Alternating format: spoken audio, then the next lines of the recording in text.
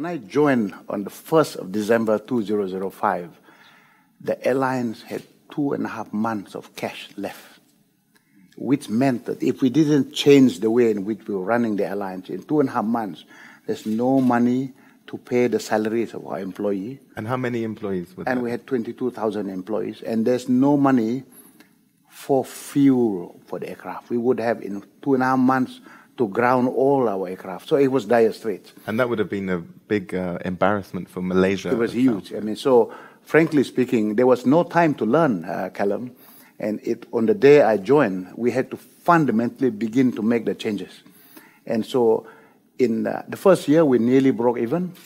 In the second year, we made the highest profit in 60 years as an, an airline.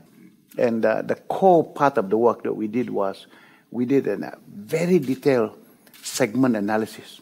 That means took our profit and loss statement, broke them down flight by flight. In a year, we have 110,000 flights. I insisted we needed to have 110,000 profit and loss statement.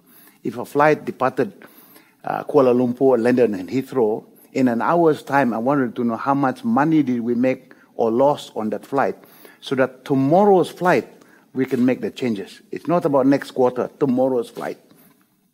So that's it's a huge task. And at, at the time when I was there, I don't think there was any other airline in the world that did flight profit and loss. Most airlines did route profit and loss statement. I can tell you the thing that was so startling.